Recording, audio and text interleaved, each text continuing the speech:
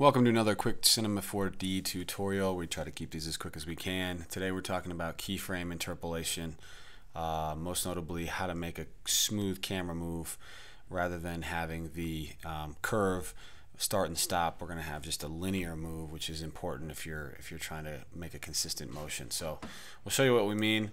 Uh, we're going to have an arc spline that we're going to just lay on the XZ and we're going to bring in a camera look through that and we are going to align it to our spline by adding an align to spline tag and then just dragging the arc right there. And now you can't tell but we are looking through the camera.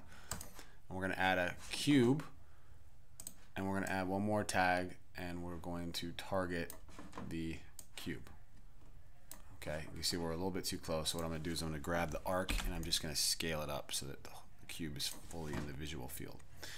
So if you go to this align to spline, you now have a position percent that you can drag and it will take you from 0 to 100% from basically from one end of the arc to the other. And if we want, we can actually take the arc and we can extend the radius.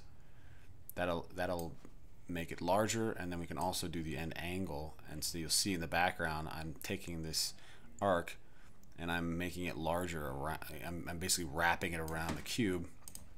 So if I go back to my my position now I'll go a lot farther.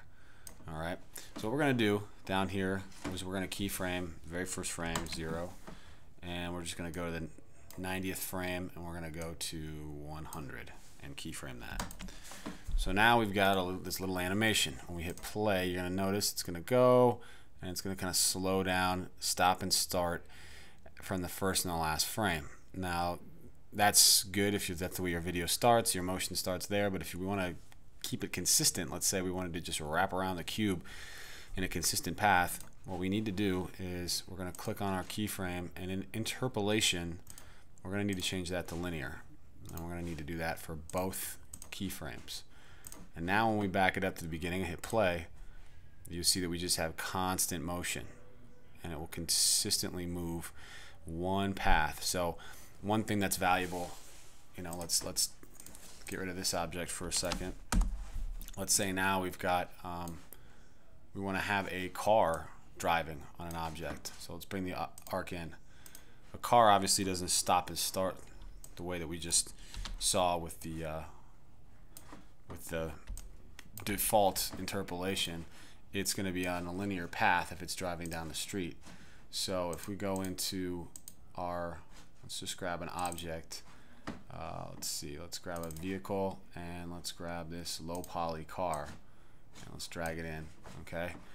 So obviously we can see that that's, our arc is going to need a little bit of adjusting and let's just change the angle here and zoom out a little bit.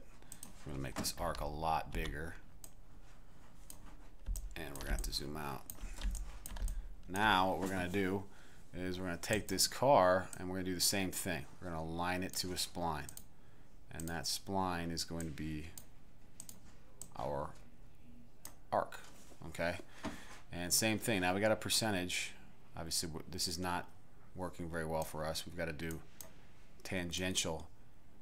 And you'll see now that the nose of the car will actually follow the spline, but we're backwards. So let's so what I needed to do is go in and, and click on the vehicle part of it, of the car, because it's a grouped object, and just simply rotate that.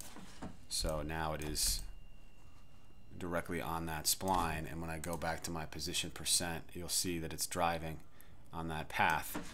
But what you'll notice is if we keyframe the beginning and again the end, very similar, if we hit play, it's going to start and stop. And maybe that's what you want, but like let's say we did an animation, something kind of like this, where we've got a city scene, and we're going to see that um, as we come down into this city, you're going to see cars are driving, and it's, you know, we want them going through intersections at a, at a relatively steady rate of speed, as you can see from some of those cars that came through the intersection.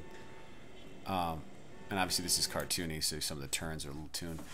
then um, you know we're going to have buildings obstructing some of those objects, then we're going to need to do the same thing. Come in here, grab our keyframe, make it linear, and now we start and we've got a constant driving speed. So anyway, that's the quick tip I've got for you today. Uh, feel free to ask any questions. Thanks.